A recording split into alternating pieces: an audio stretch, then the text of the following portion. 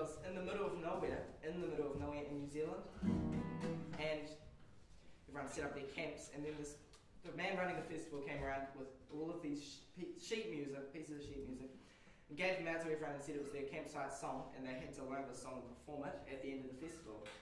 And that was, that was really neat, except most of the people at the festival couldn't read music, so there was some very interesting songs coming out. but anyhow, this is the song we got given.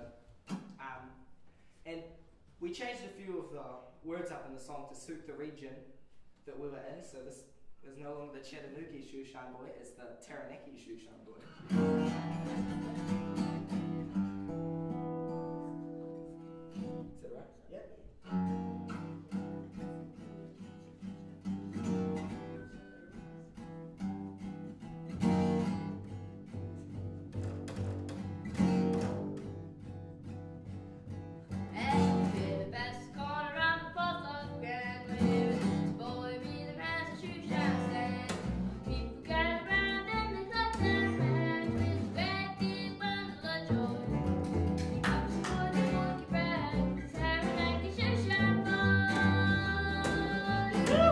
Woo!